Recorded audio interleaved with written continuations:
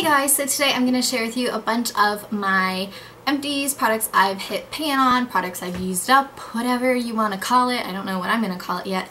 I have a ginormous bag full of stuff. I literally cannot tell you guys how long I've been saving up all of these empties and while I've been waiting to film my empties because I can never get a good time to do it, I have accumulated even more. So lots of crazy stuff going on. I love doing these videos. I have three other ones that I've made, but I took one down because just the quality and the lighting were really bad and it was just embarrassing. So I will link those down below. I've seen a lot of beauty gurus uploading their empties lately. It's been crazy. It's like a universal thing where everyone runs out of everything all at the same exact time. So um, I'll try to sort these into categories and stuff like that and let's get started. I really have so much stuff so I'm just gonna start first with these. This doesn't really count because I've probably gone through like four or five of these since the last time I filmed an empties video. But these are the Pond's Evening Soothe Wet Cleansing Towelettes with chamomile and white tea. This is a pack of 30.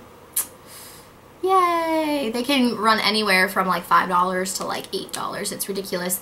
Um, but these they just smell so good. They really are like evening soothe. These are my favorite kind of towelettes. These and the regular Pond's ones are the only ones I will buy anymore because over the summer um, I tried some Almay ones and they weren't giving me any problems and then one day they just like, I had the worst allergic reaction to them ever. Like my lips puffed up and they were swollen and no amount of chapstick could like bring them back to normal. Um, my eyes just got really red and were really swollen and my entire face just hurt for days. And that happened when I tried the Alba Botanicals ones too, which is weird because they're supposed to be all natural. So I just started using olive oil as like an eye makeup remover for a while and I just stopped wearing makeup for a few days because my skin was just freaking out and it hurt. So these are the only ones that haven't bothered me. So those are the ones I've been using. Um, I used up this pack probably like a month ago or something because I currently have my Pond's Original Fresh and then that's half gone so I bought another one of the Evening Soothe. I do include whether I um, like things and whether I'm going to repurchase. Obviously, you know, I kind of like empties videos because it's kind of like your favorites because you wouldn't use something up if you didn't like it, right? I don't know, I guess in some cases that doesn't apply. So anyways, the next thing I have is a Care One Cotton Rounds All Natural pack of 80. This is just like a little bag. I did um, repurchase a bunch of Cotton Rounds, although not this brand. Um, these are like Stop and Shop brand or something and I couldn't find those. Basically I just use those for um, like eye makeup remover if I have stuff that just will not come off. I'll use it for toner basically what I use it for. Just get all the extra crap off my face. Next, I have two little hand sanitizers from Bath & Body Works. These are like always on sale for 5 for $5, so I literally like hoard them. I stock up every time I go. If you've ever seen me do a Bath & Body Works haul, these are always in them. Um, so the first one I have is Vanilla Buttercream. I was using this like all last winter into like spring. It smells so good. If you like cupcakes, like the cakey smells, vanilla type of thing, it's just really sweet. Oh, it just smells so good. I love it. I also had like warm pumpkin sugar spice in the brown bottle, something like that, that I used last fall that I really liked. I don't know why that's not here. And I also have strawberry cupcake that I used up. I must have thrown them out or something. I don't usually save them. And then this one I literally used up a couple days ago. This is Joy Holiday Frost. So I must have gotten this like last holiday season.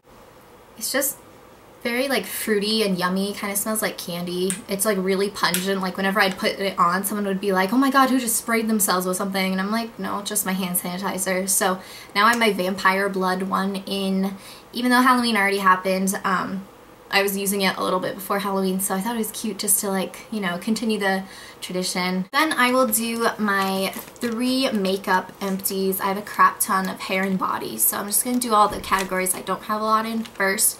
Um, my first one is the Rimmel Stay Matte Long Lasting Pressed Powder, and I have mine in 4 Sandstorm. Four is a pretty high number, and I'm pretty pale, so I don't know how that works, but this is a pretty light powder. Um, Obviously I still have a lot left of this. It's really hard to like use up powders and I hit pan in a weird shape. Do you see this? Um, but this I got like in June and I hit pan on it by like September. So that's pretty impressive. I really like this stuff. I used it all summer long. It really does mattify your face. I find I do have to touch up like every like four or five hours during the day if I do want to keep having a matte finish. I just have so many other powders right now that I need to use up so I don't think I'm going to repurchase that one right now but definitely in the future I do really like this. I used to be hooked on my CoverGirl one. You'll see that in my other empties videos but this one is just also really good because it's mattifying and it gives you a little bit of coverage because I got a colored one too.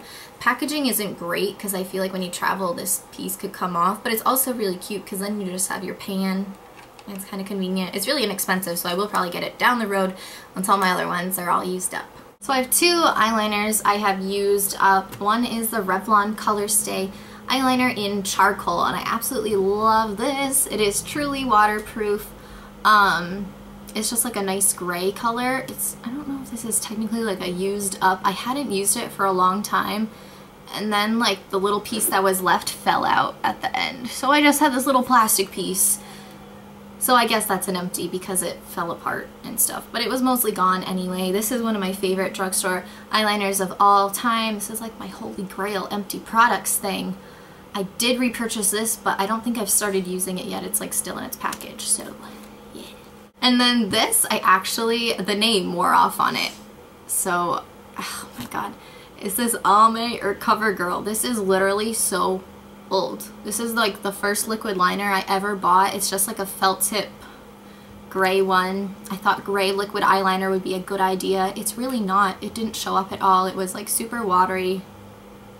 It's like, it will, like won't even show up right now. Like it kind of does, but not really. It's just really old and like the end is kind of dried out. I did like this at the time though, clearly because I used it up or maybe it's just so old it dried out.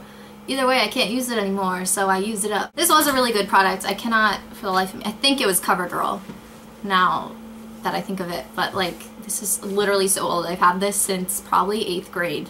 That's not sanitary. Then I do have one facial cleanser. This is a holy grail product, guys okay, this is this is either going to sound gross or really impressive when I say it, but I've had this since sixth grade, this exact bottle, and only recently have I used it up. I used to use it every single time I showered and I would wash, no, actually I used to use this every morning and night, and then um, in middle school, and then in high school I would just use it um, like every other day when I was in the shower just to wash my face. It's the Clean and Clear Morning Burst Facial Cleanser with bursting beads. Amazingly, they still make this. It used to be like really cheap, like $5, and I think now it's like eight or something, so it's gone up a little bit. I see my friend Adam walking down the hill, like in like, he's like yards away from me, but I still recognize him because of his tracksuit, and it's just distracting me because I want to be like, hey Adam, but he can't see me up in my window. This bottle is really gross. I had to like water it down towards the end because like it wouldn't come out, but this is like truly empty. I'm always so proud of myself when I like finish up things that I don't normally finish up. I never finish up facial cleansers. Um, but this, like, it smells really good. It's really citrusy. I'm kind of sick of it just because I've had it for so freaking long. I do really love this. This kept my acne in check. I don't know how, but like this with a combination of my Clearasil pads, I have to do like my Holy Grail skincare routine because this would definitely be in it even though I'm out of it now. Um, now I'm using my Clearasil. I have a million other facial cleansers that I can use in place of this, so I'm not sad it's gone. I was working on it for a while there.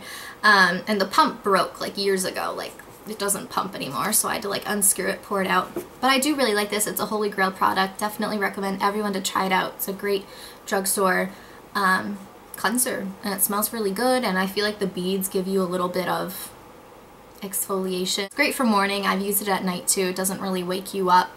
Um, it's just a great product and I really like it, but I don't need another one. also, another thing, um, this is my Clinique Dramatically Different Moisturizing Gel. And I've had this for like maybe two years now. Um, it's mostly empty. There's like a little bit down at the bottom, but it's really hard to get out, so I'm gonna have to like get a spoon or something. This is my holy grail oily skin or combination skin moisturizer.